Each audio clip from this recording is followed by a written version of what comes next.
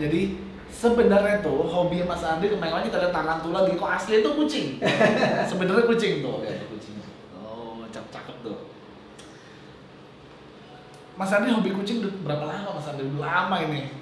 Sebetulnya saya suka kucing itu semenjak saya TK ya. Udah ya, senang? masih kecil. Iya. Ya itu udah suka sama kucing, udah punya peliharaan kucing sendiri. Kucing pertama saya warna hitam solid, Hitam, ah. hitam solid itu.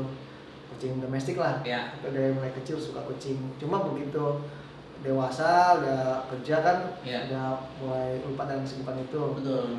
Nah akhirnya baru kembali ke kucing pada saat anak saya yang kecil si Audi Manggala Muzaki itu eh, ngambil kucing dari ini dari sekolahannya ngumpulin kucing itu waktu itu di Batam tuh Ya.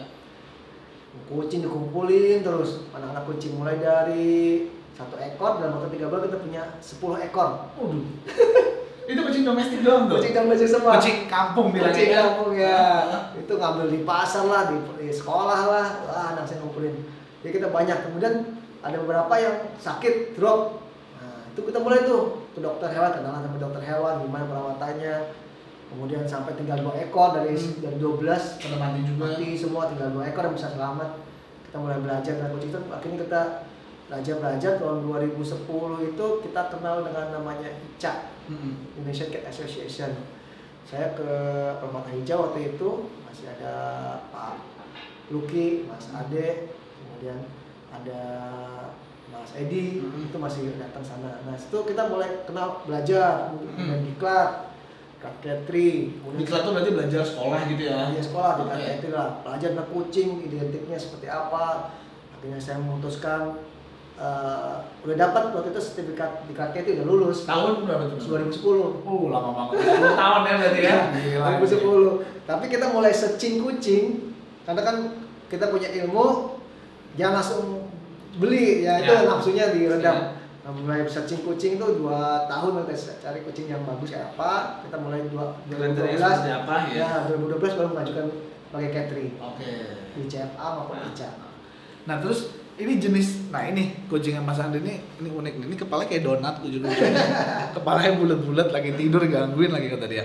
Nah ini jenis Eksotik. eksotik. Iya. Eksotik itu emang jenis eksotik, Iya. bukan jenis Persia beda lagi. Beda. Cuma Jadi- orang suka bilangnya kayak Persia juga mukanya ya. Jadi gini, eksotik sama Persia itu satu rumpun. Hmm. satu rumpun sehingga kalau mereka dikawinkan bisa gabung. Jadi standarnya pun sama. Standar eksotik dan Persia itu sama.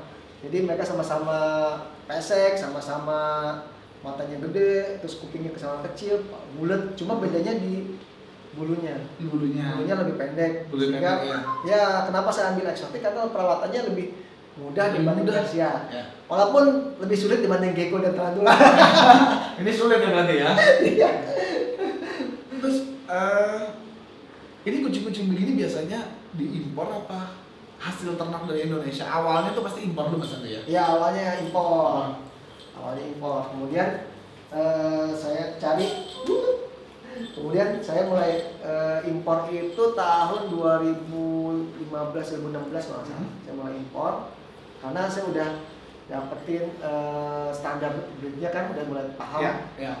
Udah tahu lah di Indonesia juga mulai kesulitan mendapatkan ya, tipe yang saya inginkan. Ya, betul. Akhirnya baru saya impor. Jadi saya nggak ujuk-ujuk impor. Jadi tujuan impor tuh bukan oh mau kasih lihat nih gue bisa impor. Jadi emang Mas Andi Enggak. emang cari keturunan terbaik Iya. untuk hasil terbaik di Indonesia iya, nantinya. Iya, karena saya eh, udah punya beberapa apa referensi kucing nih, terus udah dapetin anakan-anakan seperti apa, Hmm. kemudian hasil breeding saya seperti apa, udah paham, ngerti kurangnya di mana, barulah saya impor yang bisa menutupi kekurangan itu. Oke.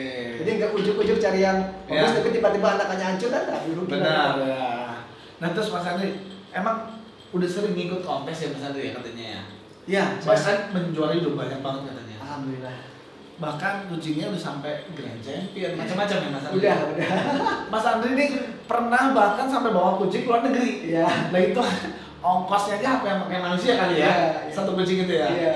Nah terus tujuan Mas Andri nih, ah gue mau showin, gue mau kontesin supaya emang mau tahu lebih dalam lagi tentang kucing yang kita beli atau tujuan ikut kontes tuh ngapain sih Mas Andri? Jadi untuk kontes itu kita bisa memperbaiki kualitas kucing kita sebetulnya. Emang dijelaskan sama jurinya, oh ini kucingnya begini. Iya, Oke. karena kalau begitu kita nggak update, nggak show, kita telat tuh. Misalnya kita punya prestasi lima tahun lalu ya, ya, kita nggak pernah ikut show selama 5 tahun kita nggak tahu kucing kita tuh masih up to date atau enggak dengan standar sekarang Oh, oke. iya jadi dengan kita ikut setiap show season itu kita ikutin kita memperbaiki mengupgrade kualitas kucing kita dia tahu ah Mas Andri, kan kita ngikutin uh, kontes gitu ya. ya Nah tujuan itu kan supaya kita lebih tahu uh, up to date tentang kucing-kucing kita ya. Iya. Jadi di juri itu pasti ngejelasin. iya Dan juri-juri biasa dari Eropa ya katanya ya. Eropa Eropa Eh, ada juga sih dari Asia Asia juga. Yang pasti dari luar negeri lebih banyak. iya Dan itu kalau show itu kan kita tercatat oh itu nilainya dan lain-lainnya semuanya nama Catherine juga semua tercatat. Iya, kalau di CFA dan Kika itu kan internasional. Hmm. Nah, jadi kita bisa ngecek data kita di, di websitenya mereka langsung Iya. dan udah langsung ke data. Jadi kita kalau misalnya kita berkompetisi dengan orang luar negeri semua kalau CFA dan Kika. Jadi levelnya memang beda. Oke. Kalau di ICA itu kan eh, internasional, tapi yang ikut serta adalah orang Indonesia semua. Betul. Kalau, kalau di CFA kita bisa show ke luar negeri pun Ibaratnya ada ada di daerah Dubai kita boleh boleh ke sana. karena udah terdaftar. Iya, nih. bahkan orang Thailand, Malaysia, Cina, Korea pun show ke Indonesia. Mas Andri paling jauh pernah ke mana? Saya pernah ke Malaysia, pernah ke Thailand Thailand. untuk masalah kucing sawat itu mengejar DW. Eh, satu lagi saya pernah ke Finlandia. Saya pernah Finlandia. satu-satunya orang Indonesia, Catherine Indonesia, band Indonesia pertama yang mengikuti World Show VP di luar negeri. Wah, biasa ya. pertama kali ikut show VP luar negeri itu World Show itu saya bawa dua ekor kucing. Eh, waktu itu saya bawa eksotik dua-duanya, Oke. anak saya sendiri. Dan itu menang juga di situ. Sana dapat excellent one semua dua-duanya. Padahal nominasi. cukup banyak ya. Aduh, saya kan banyak banget. Itu ada 1560 ekor kucing yang ikut show pada saat itu.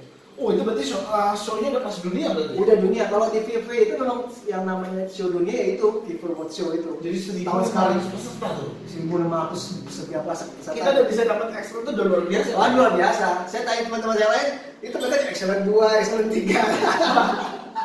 Oke, dua dua-duanya kucing saya dapat excellent 1 dan dua nominasi walaupun tidak masuk ke final. Nggak apa-apa. Tapi udah udah bagus. Udah, itu udah luar biasa lah.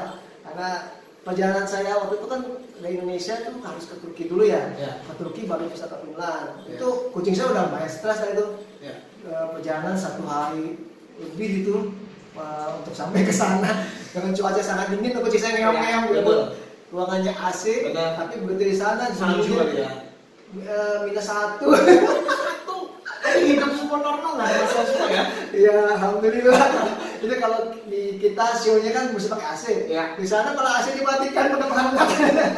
Karena udah sampai semuanya Udah satu ya. dingin ya. Oke. Mas Andri untuk menjadi peternak seperti itu sulit nggak sih? Sulit nggak sih ngawinin kucing itu gampang nggak sih? Ya, suka dukanya banyak sih kalau ngawinin kucing. Ngawinnya sih gampang, tapi begitu dia mulai dari uh, hamil, melahirkan, terus anaknya usia satu bulan dua bulan itu rentan banget. Bahkan beberapa temen itu banget banyak yang uh, curhat ke saya tuh katanya anakannya mati semua ya, ya. sehingga ya wajar lah kalau kucing eksotik itu harganya memang stabil tinggi karena memang Ya. perawatannya itu Ekstra. ekstra saya bahkan dua minggu pertama itu biasa begadang Untuk jagain ini. Jagain. Karena ya itu masih masa-masa rentannya dia ya. masa-masa rentan terus juga indukannya kadang-kadang suka ada yang nyeleneh Ya. jadi tiban lah Jadi juga. mati kadang juga ibunya agak resek resek tuh dia gelisah terus Ya, ya. sehingga anaknya nggak bisa nyusu Oke. Nah, kucing eksotik itu karena hidungnya pesek ya, sehingga dia indera penciuman untuk nyusunya susah. Hmm. Pada saat-saat pertama kita harus bantu dia tuh, nyusuin Deketin. kucing, deketin ke putingnya, terus puting susunya kita kita sekitarnya tuh bulunya kita harus cukur Supaya terlihat. supaya dia bukan terlihat sih mudah diraba oleh si Eh, anakan. anakannya. Oke. Itu mudah diraba sehingga bisa nyusu. Kalau enggak anaknya susah eh, mendapatkan puting, akhirnya nggak bisa nyusu, akhirnya ya itu dia nggak bisa nyusu, lemah, mati, rentan sekali. Mas Andri, kalau pasti terakhir tuh selalu nanya berapa sih tuh harga kucingnya cakep amat ya kan ya Iya, iya. kalau lucu amat tapi ya Mas Andri ini nggak selalu ada anak juga sih Ya kucing saya cuma sedikit jadi Iya. ya banyak yang nanya ke saya udah lahiran sudah dipesan Dari pesan, gue lahir dari pesan punya orang, udah punya orang, jadi ya gitu deh. gambaran harga berapa sih Mas Andri kalau untuk kucing-kucing orang yang pengen adop tuh kan mereka juga pengen tahu ya Nah, kisaran aja deh kisaran. Jadi gini kita berdasarkan kualitas ya. Hmm. Dari masih kecil itu kita usia sebulan dua bulan itu udah ketahuan kualitasnya. Biasanya untuk kualitas pet atau peliharaan itu antara 4 sampai dengan 8 jutaan Hmm. kalau kualitas breed itu 8 sampai 15 jutaan Berarti kalau hanya kualitas ternak lah ya. ya kalau untuk kualitas show di atas 20 jutaan Ah ya, karena emang kualitas show itu belum tentu dari lahiran tuh pasti limited lah ya. Iya. Bisa semuanya. karena nggak gitu. semuanya bisa memenuhi standar rasnya bahkan Ya. saya ngambil kucing dari Buffy itu harganya berapa euro atau 8 ribu euro Tapi euro hanya untuk satu kucing. kucing Berarti itu satu kucing harga satu mobil. ya jual Avanza lagi Karena untuk memperbaiki standarnya. iya Jadi kalau impor uh, asal beli-beli yang murah juga namanya jadi impor kucing sayur juga ibaratnya nggak memperbaiki keturunan juga hanya untuk piara-piara saja. ya rugi lah jadi berarti kalau misalnya mau beneran memperbaiki standarnya kita benar-benar harus pelajari tentang kualitas kucing kita Hmm. jadi kita benar-benar upgrade tuh Hmm. Kita monitor lagi kucing kita seperti apa evaluasi kurangnya di mana lebihnya di mana cari yang bisa menutupi kekurangan itu Hmm. sehingga anak-anak kita juga bisa bagus tidak sekedar punya kucing eksotik tidak sekedar punya kucing spesial gitu aja tapi kita benar-benar bisa memenuhi standar rasnya Ya, jadi rasnya itu benar-benar lebih bagus lah dibanding betul. bisa bersaing dengan kucing-kucing lainnya Dan bisa juga membawa kucing-kucing kita ke luar negeri. Luar negeri, ya, kalau iya. juga ya. Iya, Masa beli mulu? Iya bawa keluar lah Oke teman-teman pecinta sate Indonesia udah dibagi-bagi ceritanya rumahnya udah diacak-acak semua gecko tarantula udah lihat sampai kucingnya udah kita kasih lihat kalau perawatan kucing udah sering di video-video gue semuanya udah bisa dibahas ya. Ada masalah makan AC ada di video-video kita. Jadi berbagi juga video yang lain biar ditonton juga. Oke teman-teman pecinta sate Indonesia. Next time kita jalan-jalan lagi kalau Mas Andri ada kucing-kucing yang baru lagi kita mampir lagi di sini ngobrol-ngobrol cerita-cerita tentang perawatan tentang kontes tentang lain-lainnya juga. Jangan lupa di subscribe terus pecinta sate Indonesia channel yang penuh edukasi banyak anak adik semua pada nonton.